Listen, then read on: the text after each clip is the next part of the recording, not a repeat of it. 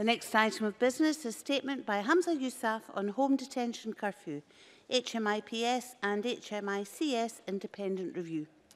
The Cabinet Secretary will take questions at the end of his statement and so there should be no interventions or interruptions. And I call on Hamza Yousaf for up to 10 minutes, please, Cabinet Secretary. Thank you, uh, Deputy Presiding Officer. I would like to begin uh, by expressing my sin sincere condolences to Craig McClellan's family. I met with them again this morning to discuss these reports and how the government will respond. And it's clear from our conversations that Craig was a much-loved son, a much-loved brother, partner, and most of all, dad to his three boys.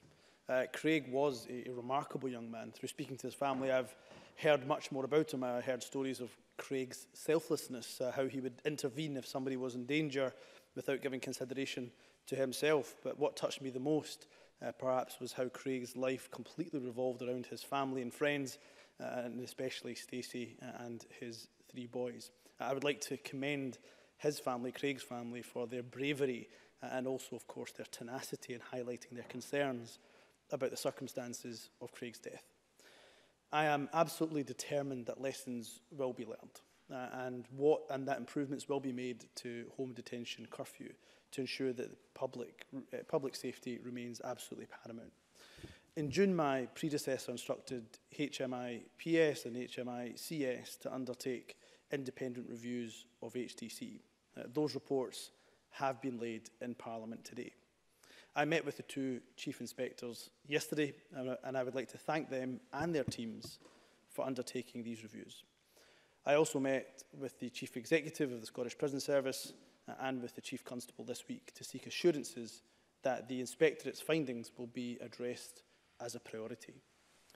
Presiding Officer, I will discuss the Inspectorate's findings and the action being taken in response in just a moment. Uh, before I do, I'd like to provide some context, overall context of HDC. Home detention curfew is an established mechanism for preparing prisoners for release. It is not available to all prisoners and is not an entitlement. Prisoners are only eligible following risk assessment and provided that they are not subject to statutory exclusions. At any time, there are around 300 people on HTC. This is approximately 4% of the prison population and is comparable to its use in England and Wales. Since it was introduced in 2006, over 20,000 people have been released under HTC. The vast majority, 80%, successfully complete their period of HTC. Of those who are recalled, the vast majority are returned promptly to custody. However, I am clear that HDC needs to be strengthened in light of the Inspectorate's findings. The Inspectorate's reviews examine the process for assessing whether someone should be placed on HDC and for investigating breaches and apprehending individuals following recall. The reviews also examined whether processes were followed in the case of James Wright, who was convicted of Craig's murder. In this specific case, the inspectorates found that the application process and decisions to release were in line with existing policies and guidance. However, there were some oversights. They were clear that the assessment process should be improved. The inspectorates found that once the recall order for James Wright was issued, police delivered the necessary briefings and updated their systems appropriately. However, they noted that there was a lack of a documented approach and effective oversight in the efforts to apprehend James Wright. It is clear, therefore, that improvements are absolutely needed, and I intend to take immediate action. Presiding officer, I'd like to make clear at the outset that SPS, Police Scotland and indeed the Scottish Government will accept all of the Inspectorate's recommendations. Chief Executive of the Prison Service and the Chief Constable have given me assurances that, in addition to actions already taken, work to implement the recommendations being, are being taken forward uh, as a top priority. It is not possible uh, in the time allotted, presiding officer, to discuss all of the recommendations in detail today. I will, however, highlight the main findings common to both reports and set out the immediate actions being taken to address them.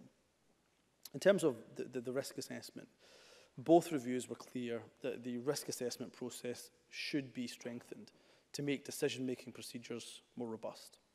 Specifically, the inspectorates recommend that there should be greater consideration of the potential risk an individual may pose to the community, uh, improved access to police intelligence to inform decisions, improved support and guidance for staff undertaking assessments, and crucially, a presumption of refusal of home detention curfew where the individual's offence involves certain prior behaviours. In response, the following additional safeguards are being implemented. There will be a presumption that individuals whose offence involves violence or knife crime will not, in normal circumstances, receive home detention curfew. And we will consider the option of placing this on a statutory basis. We will also look at exclusions for individuals who have known links to serious and organised crime. Police intelligence is now being shared to inform decisions about HTC release, and SPS are adding an additional level of assurance to the HTC assessment process. Uh, governors in charge will now receive recommendations and will decide on HTC release, applying consistent criteria. Alongside this, SPS and partners will review the assessment criteria for HDC and will make any necessary wider improvements. In relation to the governance uh, and, and procedure, the inspectorates also identified that improvements were needed to ensure greater consistency in HDC processes and to strengthen governance. In response, SPS and Police Scotland are improving the consistency of documentation relating to HDC as a priority. Police Scotland has also taken action to strengthen the governance of activity to apprehend individuals who are unlawfully at large. These individuals are now discussed at each local area commander's daily tactical briefing, ensuring clear tasking and supervision arrangements are in place. Presiding officer, both inspectorates highlighted shortcomings in the information sharing processes between SPS and Police Scotland in relation to HDC, particularly the status of those who are unlawfully at large. Uh, Police Scotland and SBS have already undertaken urgent work to rectify this. In June, they established a working group to review and improve their information sharing and communication processes in relation to HDC. As, as a result, they, have now, they now have clear communication processes in place so that individuals so that information on individuals released on HDC and those subject to recall notices is shared and acted on in real time. This means that efforts can be focused on identifying and apprehending individuals who are unlawfully at large. Consequently, the number of individuals who are unlawfully at large from HDC has decreased from 54 on the 18th of June to 8 as of this morning. The inspectorates found that cross-border arrangements where individuals are released to addresses in England and Wales should be a lot clearer, particularly in relation to notification on release uh, and revocation of HTC licences. SPS and Police Scotland have already taken action on this. They have established single points of contact in all 43 police forces in England and Wales and have developed clear processes to alert those forces in HMPPS to release on HDC to a curfew address in their area and any revocation of those licences. As a further safeguard, Police Scotland are also informed and confirm that the relevant information is logged on the Police National Computer. Presiding officer, as part of their review, HMICS examined the powers available to Police Scotland to apprehend individuals who remain unlawfully at large. Consequently, they have recommended that government considers making remaining unlawfully at large a specific offence. This would also provide associated powers of entry for the police. I accept this recommendation and will consult with criminal justice partners and of course those across the chamber on the best way forward. Uh, if they agree with this proposal, uh, this will be taken forward by way of a Stage 2 amendment to the current Management of Offenders Bill scheduled for spring 2019. Presiding officer, I believe that these additional safeguards will strengthen HTC processes in the immediate term by delivering more robust and consistent assessment, improved governance and oversight of release decisions uh, and in relation to apprehension, streamlined communication between SPS and Police Scotland, and clearer cross-border arrangements. These immediate actions form part of a wider programme of work to implement all the Inspectorate's recommendations.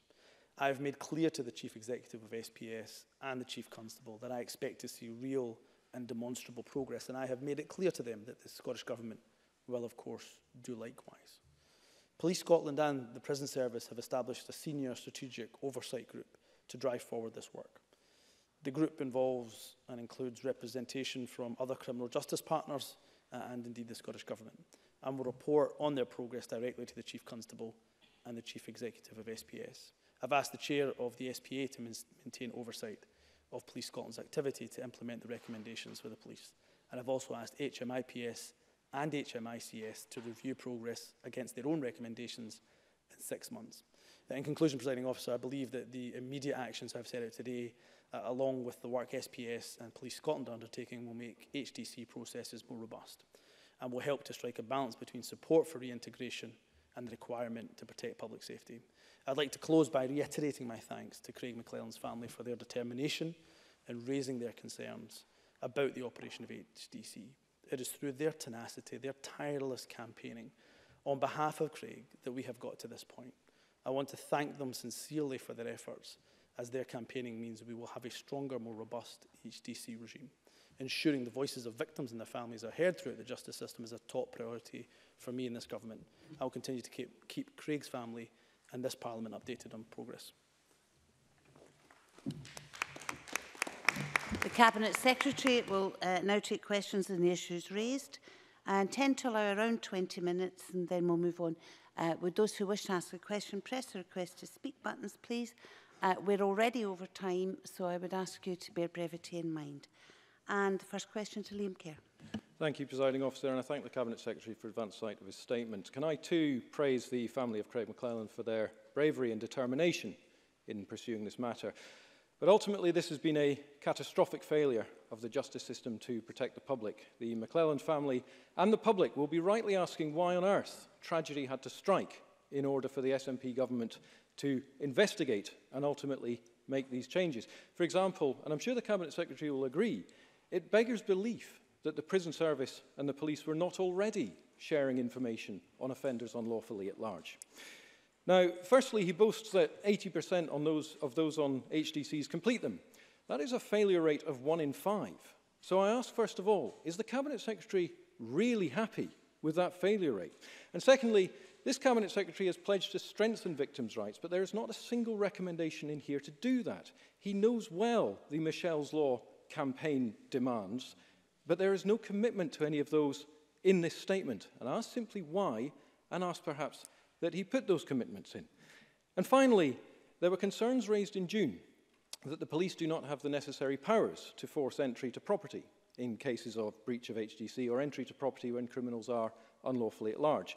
So why is there nothing in this statement addressing those concerns? And what will the Cabinet Secretary be doing to address this? Thank you. Hamza Youssef.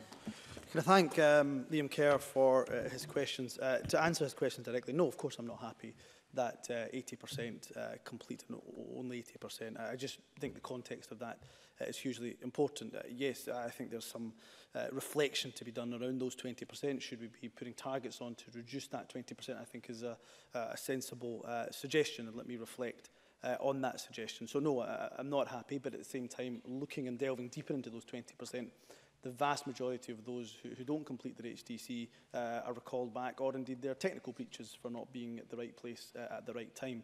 They do not, the majority of those 20% do not go on to commit grave and serious crimes uh, while uh, uh and, uh, unlawfully at large. But that is no comfort at all to the McClellan family, and that is completely understandable. So I think his point is, is, is, is, is well made, and, and, and I just say very clearly, no, I'm, I'm not happy at that, but the context is important. He asked me about Michelle's law. Can, can I um, maybe just go back to him to say that I find often um, that, that Liam Kerr might do this, and it may well be inadvertent, but he is confusing and conflating two separate issues. Michelle's law uh, is largely to do with parole, and the issues around parole, and then what happens uh, thereafter in relation to release uh, on licence, the issue we are focusing on today is home detention curfew. So why would I make a statement about parole during his statement on home detention curfew. I'm, I'm not convinced, but I'm, I'm happy to take that offline. Um, but to give you some comfort on, on, on the Michelle's Law campaign, when I've met with the Stewart family and indeed with Liam Kerr on this, I have sympathy for every single one of their three major asks. And as part of the review and parole, which the First Minister agreed to uh, during the programme for government, we will explore every single one of their, their asks. Some of them I don't think need legislation, uh, but some of them may well do. So I can commit to, to, to that. Um, in terms of uh, my statement, I did address the, the, the issues around power, power of entry. I'm sorry if it wasn't clear enough, but I'll, I'll reiterate it, which was that one of the recommendations from the inspectorate was making going unlawfully at large an offence. If we do that through perhaps a stage two amendment, uh, the Management of Offenders Bill, that will give police the powers of entry that they require, and that is something that the family raised with me this morning, and I'm happy to commit to. Daniel Johnson. Thank you, Presiding Officer. And can I too thank Cabinet Secretary for advance sight of the statement. But I'd also like to offer my sincere condolences to the family of Craig McClelland. I know that these reports will answer some of the questions they have about Craig's murder. But I do hope that the government will commit to doing whatever it takes to go beyond these reports to answer the remaining questions that the family will have. Because let's be clear, this is a murder that is that's not one that just shouldn't have happened. It shouldn't have been possible. These reports detail multiple failings. There are clear recommendations for both the prison service and the police. So I would begin by welcoming and that we will back the government's commitment to give additional powers to the police to deal with those who have breached home uh, detention curfews, uh, which we indeed called for this summer. But the timeline of events leading to Craig's murder show that while the SPS had revoked the home detention curfew on the 24th of February, it took until the 4th of May until an address check was carried out by the police. That is truly shocking. Does the Cabinet Secretary accept that when HDCs are revoked, the police must treat this with the priority it deserves and have the resources to match? But more importantly, the, the Cabinet Secretary's remarks point to interagency uh, working and process. My concern is that the multiple failings detailed here point to much larger and widespread issues within the agencies themselves. They point to competence and capacity, capacity issues of those agencies, not just how they work together. Does the Cabinet Secretary agree with that? And given all the failings that were detailed in these reports, and indeed the 24 people who've remained at large for more than four years, why has it taken a tragic murder for the government to investigate the issues that have been revealed? Hamza Youssef. Can I thank Daniel Johnston for his questions? I'll try to go through as many of them uh, as I possibly can. Uh, in relation to the, the, the, the family's request for more answers, uh, more, more, more questions to be answered, I met with them uh, this morning. We had a lengthy uh, meeting, understandably so, for the McClellan family. Most of their questions surrounded uh, Craig's uh, tra tragic murder. Uh, what I said to them was uh, that they should reflect on the reports uh, that will be published at 12.30 uh, and if they would like a further follow-up meeting with me, uh, then they are most welcome to, to, to, to have that meeting and I will meet with them. Uh, uh they will meet uh, with the police and have access to, to the police and, and also with the Scottish Prison Service uh, if they or if they wish. And my understanding is they're meeting with, with police uh, on, on, on Monday next week uh, and then again, uh, something being arranged with SPS too. So uh, my door very much is open to the McLellan family to do what I can to get to the answers to the specific questions. Uh, in relation to, to, uh, to, to, to the actual incident uh, itself, uh, in some respects, Daniel Johnson is absolutely right, of course. Uh, the McLellan family told me that Uh, at the time of, of Craig's murder, people would come up to them to say, oh, it's a shame Craig was in the wrong place at the wrong time. That is nonsense. Uh, uh, James Wright was in the wrong place at the wrong time. Craig had every right to go from his house to his mother's house and expect to get there absolutely safely. Uh, and so he's absolutely right. There, there were some failings uh, in that case. Some of them have been absolutely identified in the inspectorate's reports around documentation, governance, communication, and that is why we will uh, accept all of those recommendations, as will SPS uh, and Police Scotland. In, in relation to moving forward and, and, and, and competency of organisations, that is why I have instructed after six months a review to take place on the recommendations, because I want to be absolutely assured, I want to be filled with absolute confidence that these recommendations are being acted on, and I've seen that through the Short Life Working Group uh, and I look forward to seeing uh, that review in, in, in six months' time. Uh, in terms of uh, priority, I, I agree with his, his, his assessment, and, and the inspectorate's clearly highlighted that in both the reports. Uh, going unlawfully at large, somebody going unlawfully at large must be given greater priority, and I'm confident that the recommendations, if accepted, uh, will help that uh, help to move that priority further up the agenda. Uh, can, can I say that the opening questions and answers have taken much longer than they should, and that will penalise backbenchers. I certainly won't get all the questions in, as many as possible if people are brief, if possible. Uh, George Adam, followed by Margaret Mitchell. Thank you, Presiding Officer. Craig McClelland was a young man who met the love of his life and had three lovely boys, dedicated to his young family and his partner Stacey, loved by all his family. He's more than the tragic story that we have before us today. Today, Craig's family and myself met with the Cabinet Secretary to discuss both reports, and I thank the Cabinet Secretary for confirming that this dialogue will continue. These are tragic circumstances, and none of us can bring Craig back. But what we can do, and what the family want to know, is how we protect others from going through the same grief. Can the Cabinet Secretary tell me how we can take these recommendations and ensure that no other families have to endure this heartbreak Can he explain how we translate these recommendations into legislation and what form that might take? Hamza Youssef.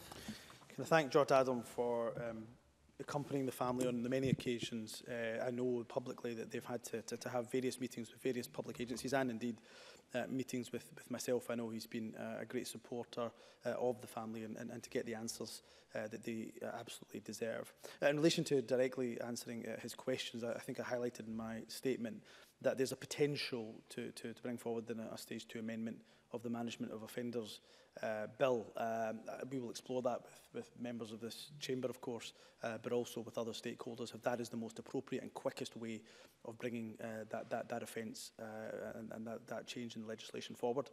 Um, information sharing was also one of the key themes of both uh, reports, and I can confirm that the, the, the, working group, the oversight group, will continue the, the work of the working group uh, as it was to ensure that SPS and Police Scotland have continued uh, good sharing of information, but also good governance.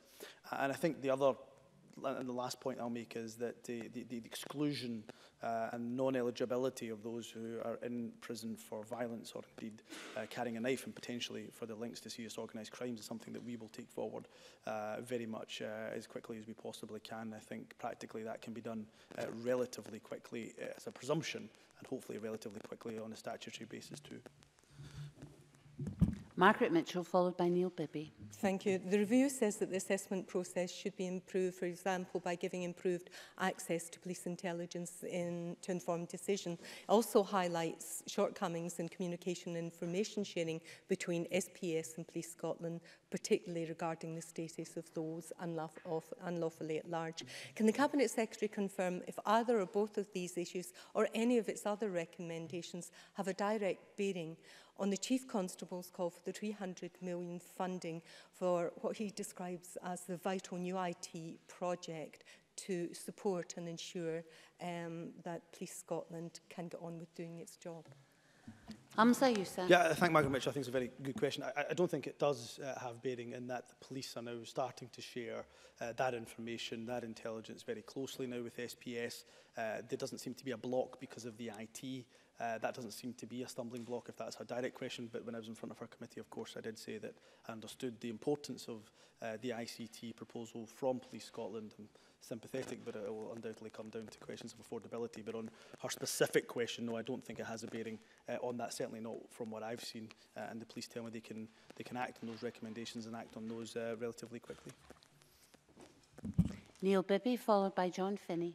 The murder of Craig McClelland has shocked and horrified my community. Having met with Craig's family and spoken uh, with his father earlier today, it's impossible not to be moved by their strength, their dignity or their determination to get the answers they deserve. Like the Cabinet Secretary, Craig's father told me that someone said his son was in the wrong place at the wrong time, yet he had every right to be there in his own community. The man convicted of his murder did not. I welcome these reports, but it's clear for the family there are still many unanswered questions.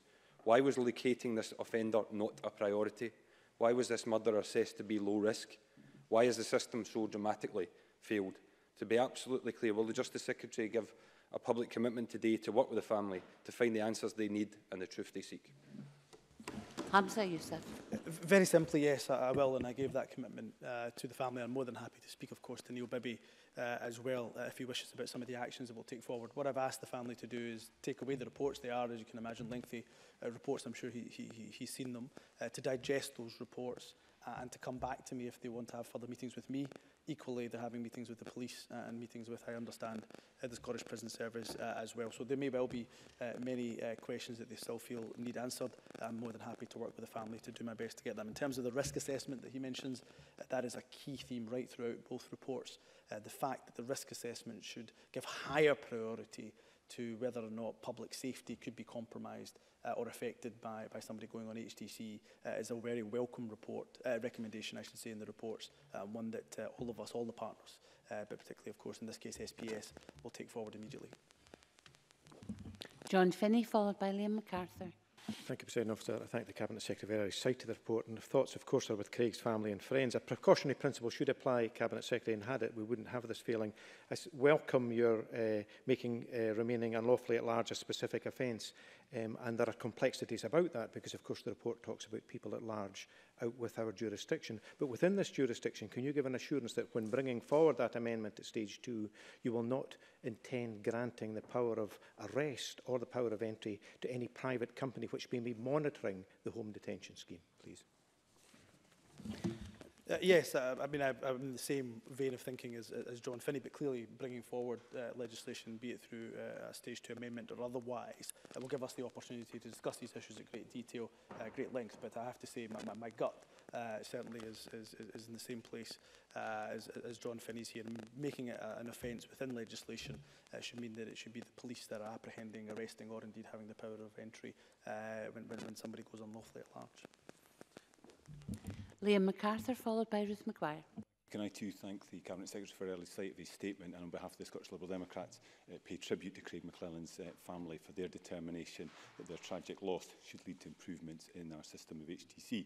The Inspectorate's reports highlight the failures in HTC and the extent to which those illegally at large were off the radar of police and the prison service. In that context, Can the Cabinet Secretary outline the specific steps being taken to address what appears to be a patchwork of IT systems operated by the police and prison services that does appear to have contributed to this shocking and needless tragedy? Hamza Youssef. Uh, I would say to, to, to Lee MacArthur, similar to, to my answer to Margaret Mitchell's questions, is, is that it doesn't make it clear that the necessarily IT was, was the issue, but basic information uh, should, should be shared uh, and I think will contribute to making our HDC system and processes more robust. Where there is an IT block to that, then yes, of course, that discussion needs to take place. That I've mentioned already, uh, my, my understanding of, of the proposals from Police Scotland to improve their ICT systems But in this case, uh, sharing information, even at a most basic level, uh, could strengthen and um, would strengthen the HTC system, uh, the pro- uh, regime. But that does not require, uh, I don't think, an upgrade in, in IT systems, uh, unless I'm told otherwise uh, by SPS or indeed uh, by Police Scotland. But if that is the case, then of course I will have those discussions with my partner agencies. Ruth Maguire, followed by Maurice Corey. Presiding Officer, the Scottish Government and indeed the Cabinet Secretary have committed to developing a victim-centred approach across the criminal justice system. Can I ask the Cabinet Secretary how changes being proposed to the home detention curfew fit in with this very important commitment? Hamza Youssef. I uh, thank Ruth Maguire uh, for that. Uh, in my discussions with Craig McClellan's family uh, this morning, I mentioned the victims' uh, task force which I will set up and I've importantly said that victims and the families of victims input into that task force will be incredibly important and, and, and I've invited them, uh, the McClellan family, to send representatives as part uh, of that discussion. Uh, and I think uh, what we're doing on, on, on HDC is absolutely vital and important uh, to that work, but equally the McClellan family mentioned to me what they thought uh, were, were, were a number of gaps within the entire criminal justice system from the moment that terrible tragic, tragedy happened to, to, to even uh, uh more, more recently than that. Uh, and I think we owe it to the victims to make sure that their rights are absolutely strengthened. Uh, and of course, the Victims Task Force will, will absolutely be a part of that. Uh, and, and I go back to my, my question, uh, my answer, sorry, to, to Neil Bibby's question, that the risk assessment process will also be uh, really, really important in this sense for the victim because it will be around public safety being given a greater emphasis uh, within that risk assessment process, hopefully uh, giving the public uh, more reassurance and more confidence on HTC. Uh, the last question goes to Maurice Corey. Secretary commit today to supporting an amendment to the Management of Offenders Bill to make breaching a tagging order an automatic offence, as indeed the Scottish Women's Aid have called for recently. Hamza Youssef. Uh, yes, I think I've, I've answered that in, in, a couple of ways in my statement, but, but also uh, from, from questions uh, from others. Uh, I'm more than happy to, to look at that as a proposal. Uh, I will consider that with members of the Chamber here, but also consider it with stakeholder organisations like uh, Scottish Women's Aid and many others. But I'm more than happy to, to listen to Maurice Corey's suggestions and feedback and other members' feedback on that suggestion, whatever is the quickest way and the most appropriate way to bring um, an offence of going unlawfully at large forward, I will do that. I'm sorry I've been unable to call Jackie Bailey, Willie Coffey, Rona Mackay and John Mason, but we must close questions in this statement and move on to the next item of business.